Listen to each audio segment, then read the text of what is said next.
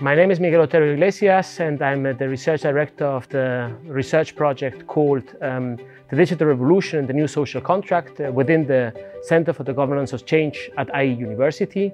Uh, the project has four